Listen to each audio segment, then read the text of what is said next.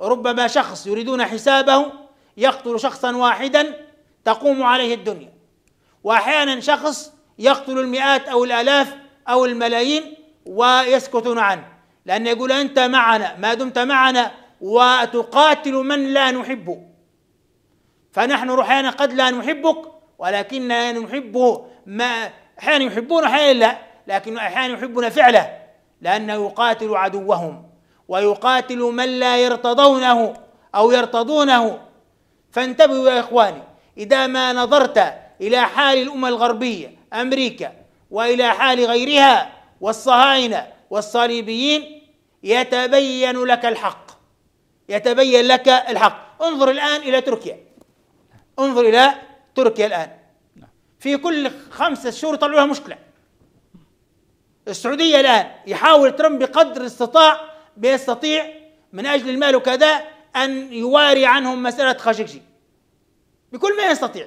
وتركيا الاتحاد الأوروبي وكل مرة بعض الناس يقول تركيا راهي فيها كذا وكذا ونتكلم مع السعودية. قلنا أكثر من مرة. تركيا دولة علمانية مكبلة بالعلمانية.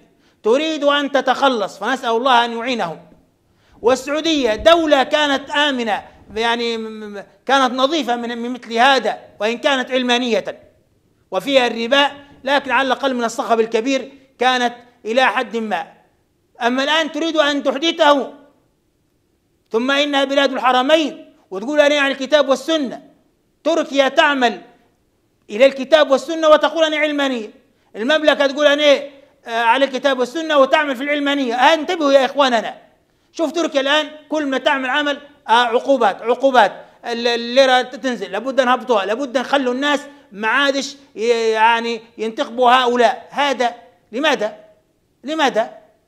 انظر إلى المواقف انظر إلى المواقف فإنك ستراها واضحة وضوح الشمس في رابعة النهار